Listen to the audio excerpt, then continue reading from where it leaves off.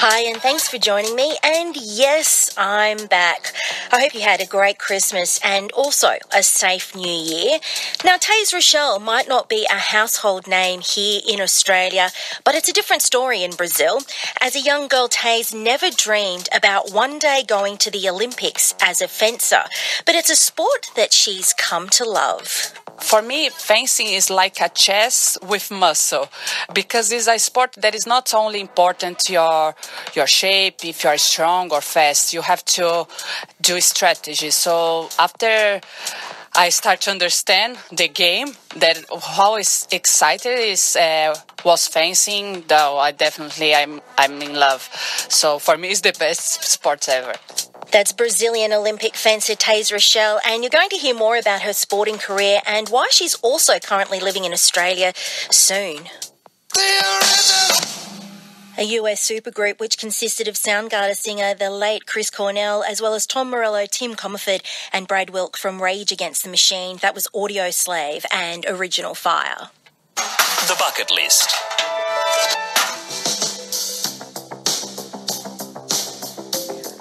Never watched fencing, but um, I have watched it a couple of times on TV, but I really couldn't tell you much about the sport. But recently, I got the chance to chat to someone who knows quite a bit about it. Now, Rochel represented Brazil at the Rio Olympics in 2016 in fencing, but never dreamed of being a fencer really in the first place. Taís currently lives in Melbourne, and I asked her how her brother influenced her decision to start fencing in the first place. No, it was interesting because I was too young. I started when I was six years old in São Paulo, the city that I was born in Brazil, and my brother loved uh, loved uh. You know the cartoon. He-Man. Yes, yes. and, he, and my father said, "Oh." Do you like He-Man? Probably you'll love fencing because fencing has swords. So my brother, my older brother, André Rochel, he started. And I had to wait for him. And all the time I was, oh, you always have to come here to fa- uh, in this weird sport. And the coach, his coach said, Taís, stop to complain.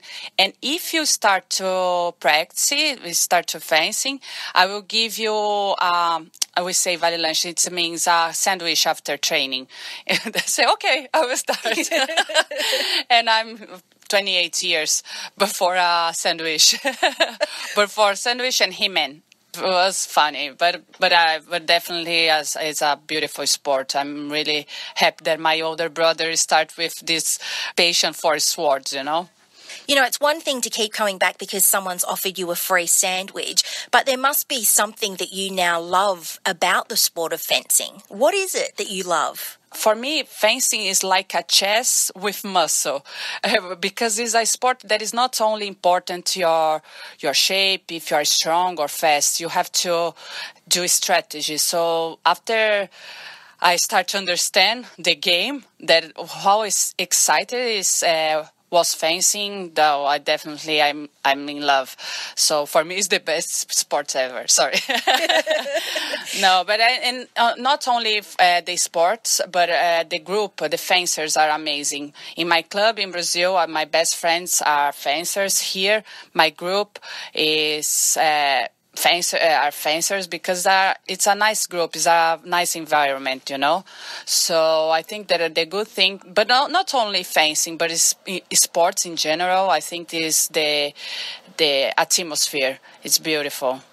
Now, Taís, I have a confession. I don't know a lot about fencing. I've watched it. I've watched it when the Olympics have been on, but I know that there are three different disciplines in fencing. What are the three different disciplines, and what's the category that you mainly compete in? Well, we have three kinds of uh, swords. There it's foil, sable, and épée. I'm foil, and the difference is the place, the spots that you can hit your your opponent. Uh, there are many small um, difference, but épée you can hit all body, mask, chest, uh, pants, whatever. Foil you you can only electric jacket that you can hit your opponent, and sable is another electric jacket, but this electric jacket will have some electric sleeves and mask as well. It's uh, it's different. The spot that you can hit your opponent is the most important difference. I think so. Yeah, I think so. No, I'm sure. So it's not just fencing also that you have an interest in because I note that you're a graduate in fashion design as well. Has there been any chance yet for your fashion design to cross over into your fencing? Uh, no, I don't think so. Actually, it was incredible because uh, when I decided to be professional, when they decided Rio as the city of Olympics, because I had my label in Brazil and I started to think, oh, fencing, I cannot earn money and maybe I will give up. Not to give up but we'll continue uh, fencing as a hobby you know? But when rio was chosen Petrobras is a oil company in Brazil. is really uh, is really famous. They start to sponsor us. So for me, was a good opportunity to do what I loved, to live in Italy because I live in Italy for four years to practice in the best club in the world. For me, in my opinion, is one of the best. Daniele Garozzo was the champion in the Olympics. Now he won. The, uh, he was the second in the world championship. So whatever. The, there are many guys with a good result in Italy in my club, so I decided to move to this club to prepare for Olympics. But whatever, also we are talking about fashion, and I decided to give up. But all the time, I'm talking with my boyfriend that I want to keep practicing and keep coaching because now I'm coaching a club, Black Lords Club in Melbourne. But uh, in the same time, I think that I will start to think about to produce some some things uh, because I think that I can do footwear, you know, and mm. in Brazil I start to grow up with footwear and footwear and fencing. I think that I can do both. Here we have a lot of opportunities, so why not? I'm Rhianna Patrick. This is ABC Radio, and Taís Rochel is my guest. She's a 2016 Rio Olympian. She's a fencer, four time uh, South American champion, 10 times Brazilian champion, and currently residing in Melbourne here in Australia. Now, Taís, on your fencing, you've had some time out due to injury and your shoulder. So 2017 was a, a bit of a, a, restart for you. But what are the kinds of things that you have to um, think about when you are are an Olympic fencer and at that high elite level of the way that you have to look after your body? Well, actually uh, i think that when you have a high level where when you're a professional in a sport it's hard to think about uh, most of us we have endurance but what uh, we used to do is uh, have a good personal that try to protect our body against injuries. Mm-hmm. So I think that uh, I had a really good team for Olympics, but unfortunately, you cannot imagine 28 years hitting our opponent and in the end my shoulder was really bad but i think when it's high level it's hard to don't have any kind of endurance. But in the end, it's a good life because it was only one shoulder, you know. After 28 years, I had one Olympics, three Pan American Games, and a beautiful career. So for me, it was nothing. Olympics always is uh, the dream of all athletes. So, but if you want to go, you have to dedicate all your life for sport. So I decided to move to Italy, as I said, to Rome. And I used to practice six hours per day, I had a good training, physical training, and after that, I used to have private lesson with uh, Italian coach Marco Ramacci. He's really good as well. And after that, uh, a lot of bouts with uh, Italian girls. Most of them were in the Italian team. So I think that I did the best preparation. Unfortunately, in in at Olympics, I I won the first bout 15-0. Was really good. I think that was the first time that someone beat another opponent for 15-0 so was a surprise because i was a little bit nervous in my first bout. But the second bout i, I lost against uh, shanaeva. She's a russian really good. She was in the uh, fourth in the world ranking. But i think that i had a good bout. Unfortunately i, I lost against a good fencer. But in the end i was happy because was a, a good participation. And in my this my history opened good opportunity in Melbourne as well because I met the owner of my club, Robert De Pasquale in, in Italy. So all my career opened good doors. I don't know if you have this expression, open doors, but in Brazil we have this expression.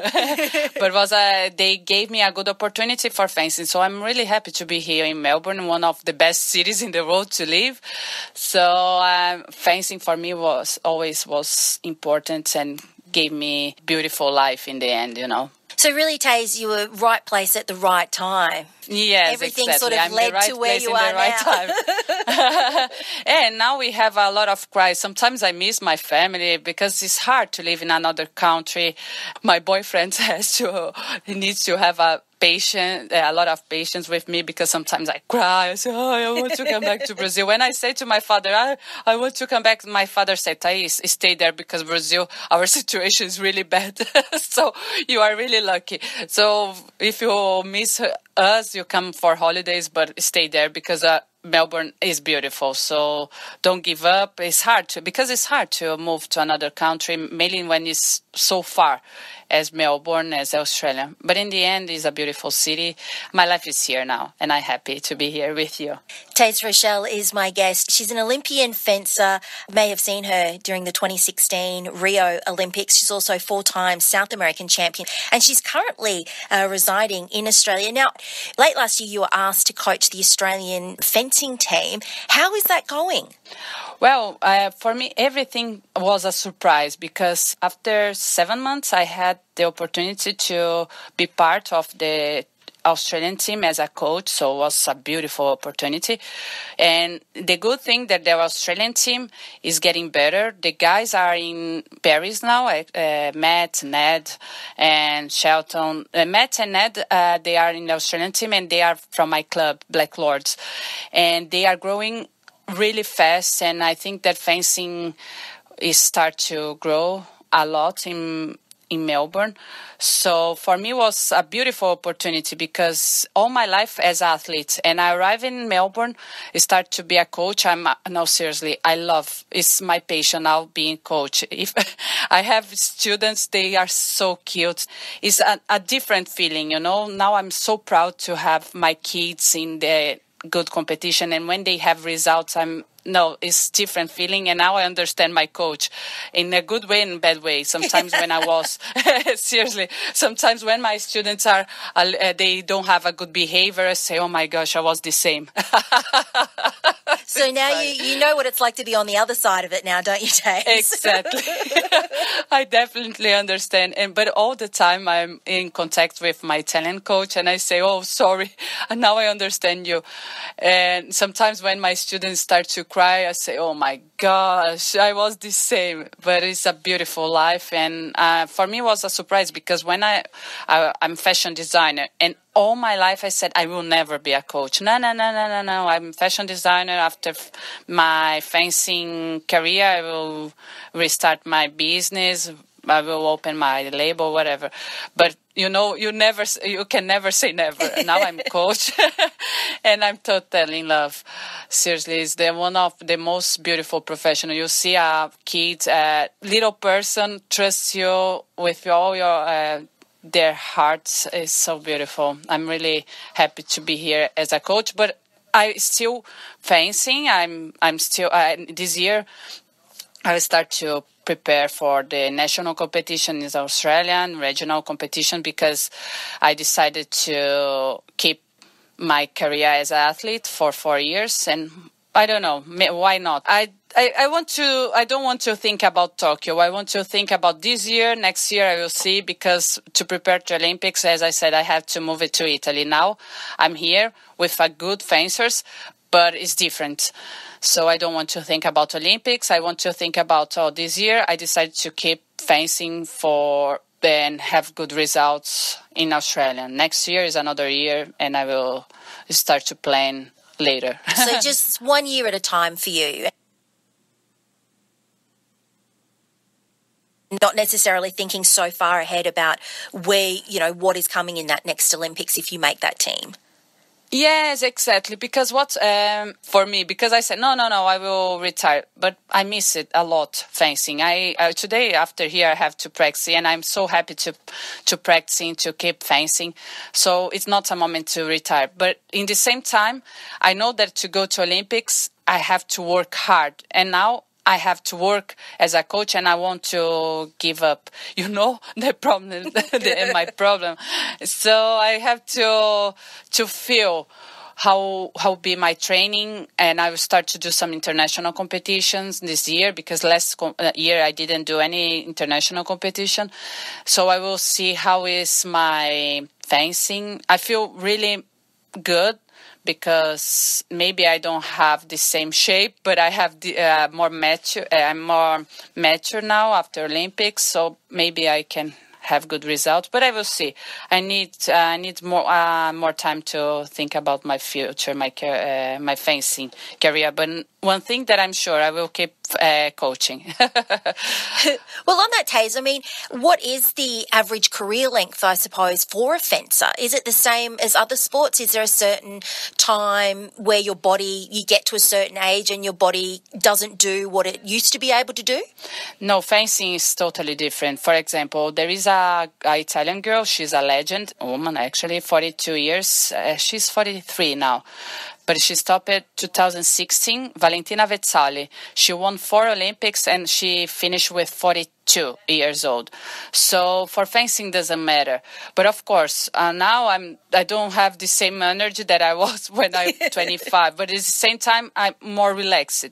And so for fencing is important this kind of match. But in the same time, of course, I cannot. I, I have to keep practicing hard. But it's not as uh, gymnastics that you retire when you are I don't know 18 years old, 19. Fencing you. In, at the Olympics, there was a épée guy. They, he won. He's 40 years old. So it doesn't matter. So actually. it's possible that you could keep fencing as long as your body's holding up. You could keep fencing for as long as you wanted. Yes, definitely you can. But in my case, I because uh, I don't want to stop because I'm getting old. I want to stop because I want to have family. I want to start my career as a coach. You know, it's not for my body. Definitely, it's not for it.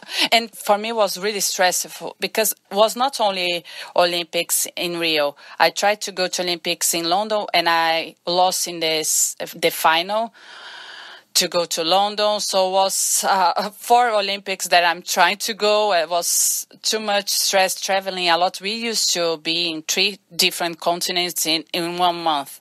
So after Olympics, I said, no, no, I want to stay in a place and travel only for vacation and i did it last year. Actually i had two competitions in brazil that i had a good result as well but i decided not, not travel as before because it's really it's, it's tired.